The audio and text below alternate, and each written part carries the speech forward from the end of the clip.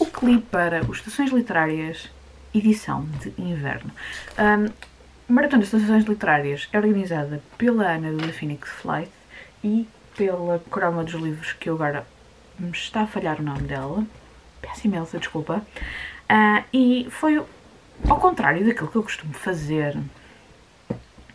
Foi uma maratona que eu não fiz uh, uma TBR completa, portanto aquilo tinha 16 categorias. Um, e normalmente para, para este tipo de maratonas gosto de fazer uma TBR e uh, mais ou menos gosto de a cumprir ou não.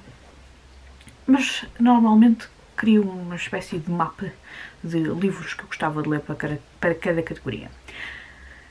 E eu quando estava, quando, quando a maratona apareceu, eu fiz, consegui preencher algumas das categorias, mas como eu não sabia o que é que iria ler, porque este ano estou a tentar não saber com tanta antecedência como eu fiz o ano passado, um, quais os livros que vou ler em cada mês, por causa da, da minha, da minha couve, da minha tibiar da couve. Um,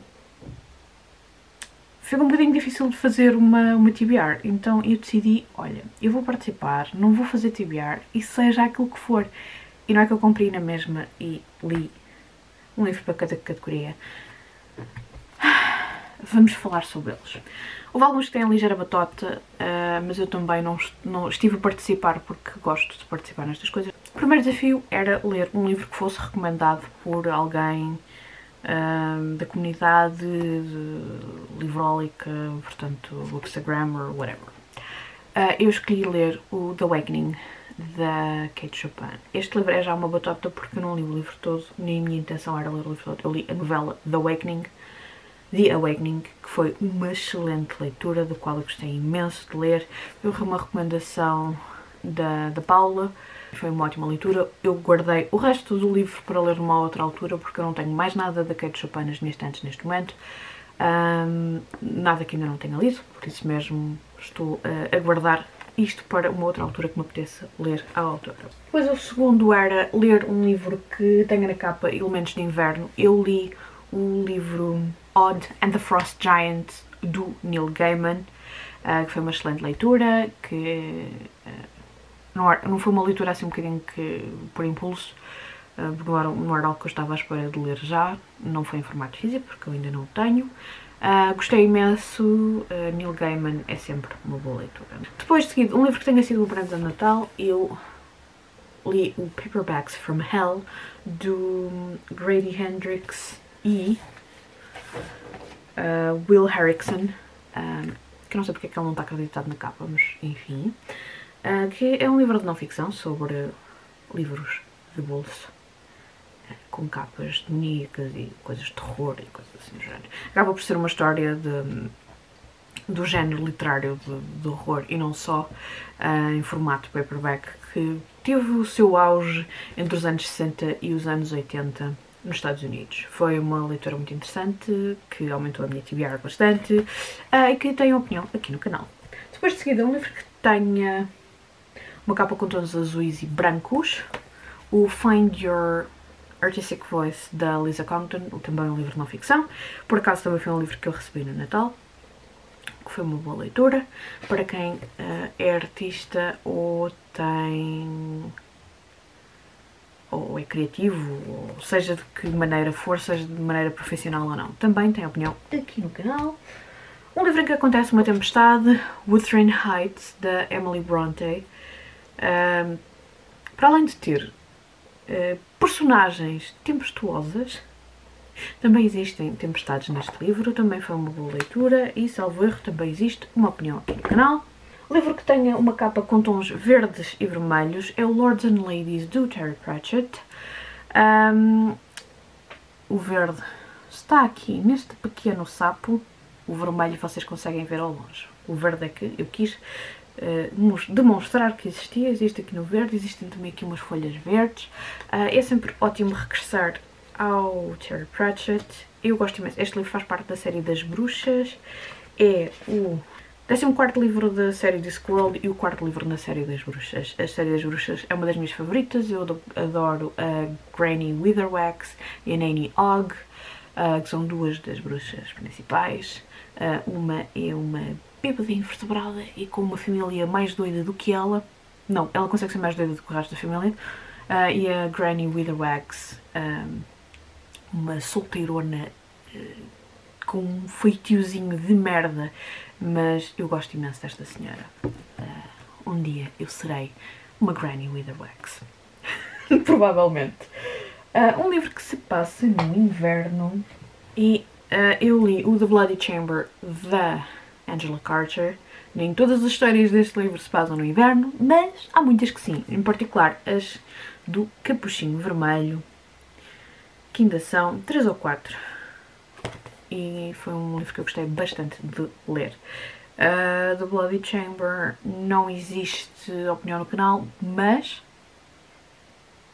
eu falei sobre ele em maior detalhe na minha wrap-up da Maratona Fairy Tale. Depois de seguida, um livro com uma personagem fria, Hero in the Shadows, do David Gamel. Este livro faz parte da trilogia Waylander e faz parte da, da, da saga Drenai, do, do, do, mesmo autor, obviamente. Também já tem a opinião, a, a, trilogia tem a opinião, este é o último livro da trilogia.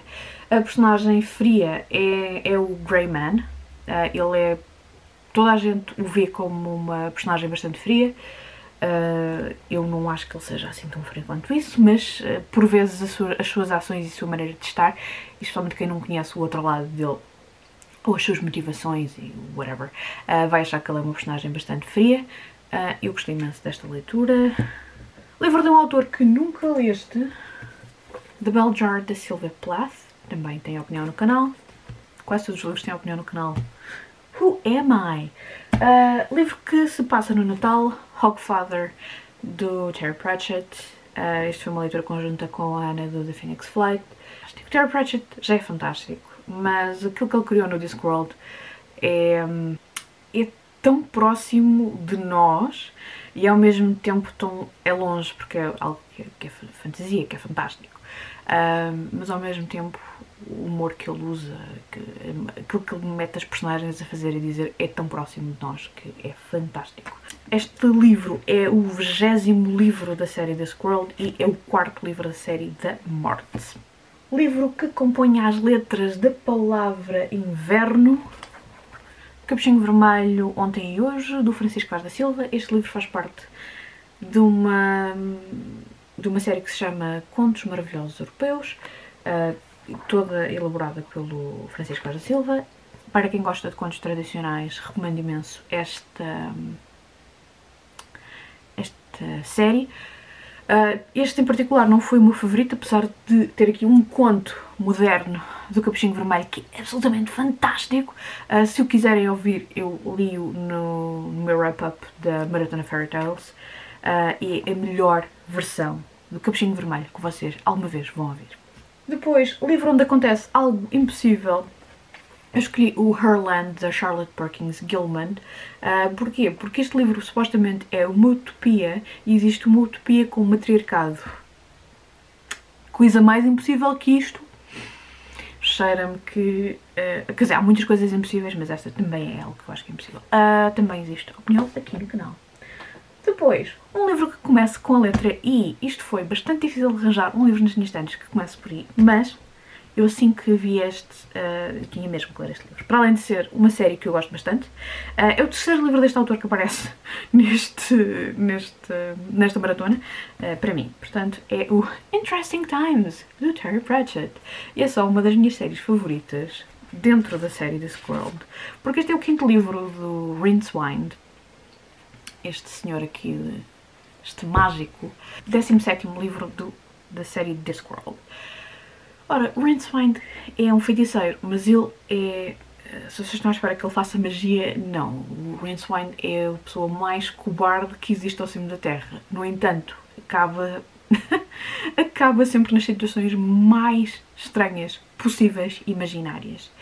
Um, no, neste livro, ele vai viajar para um, um sítio que é um bocadinho desconhecido do Ankh-Morpork. Ankh-Morpork é tipo a capital do Discworld um, e uma parte das histórias do, do Terry Pratchett na série Discworld tem sempre alguma ligação com Ankh-Morpork Park, especialmente na série do Rincewind, porque ele é mágico e é no Ankh-Morpork Park que existe a Universidade de Unseen University, portanto, eu tenho que dizer em inglês porque em português não estou a conseguir traduzir neste momento, que é a, a Universidade dos Feiticeiros, todos homens, obviamente.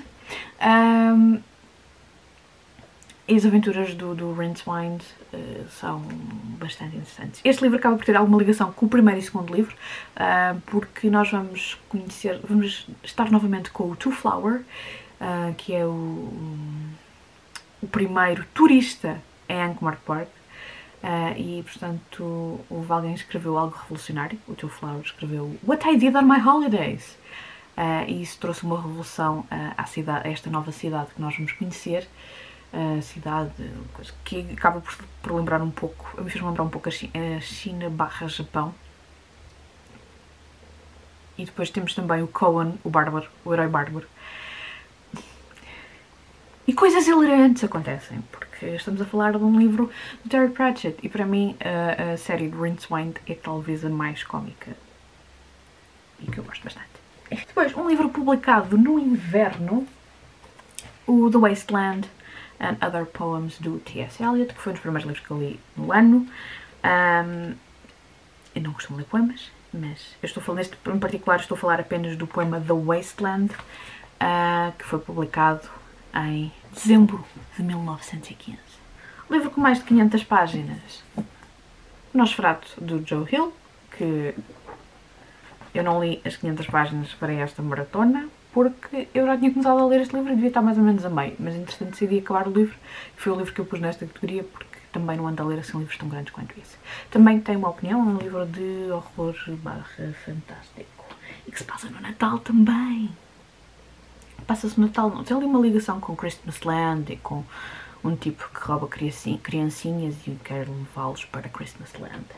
E por último foi um livro com menos de 200 páginas. Eu li o Wendy's Button Box do Stephen King e o outro autor que, que agora estava, não estava a conseguir ler, que era Richard. Chismark. Tenho sempre dúvidas como dizer o nome do senhor e eu ouvi como é que se diz o nome do senhor. Enfim, também já tenho opinião aqui no canal, também foi uma boa leitura. Estou surpreendida, verdade. Não que eu não conseguisse ler estes, esta quantidade de livros, os 16, uh, ah, nos meses que era esta, esta maratona, mas como eu já tinha dito no início, como eu não fiz planos, achei que não ia cumprir nada. E entretanto, uh, já começou a versão de primavera e uh, eu ainda vou olhar bem para as categorias para ver e daquilo que para ver fazer a minha, mais não seja um, um pequeno plano para, para as categorias, mas eu sei que algumas eu vou precisar da vossa ajuda. Mas existem outros sítios onde pedir essa ajuda. E pronto, foi isto aquilo que eu li para maratonas literárias. Estações. Como é que é? Estações literárias? Estações literárias. Eu já estou sempre a confundir o nome. Enfim, foi isto que eu li e vocês também participaram. O que é que leram? Digam-me nos comentários e até o próximo vídeo.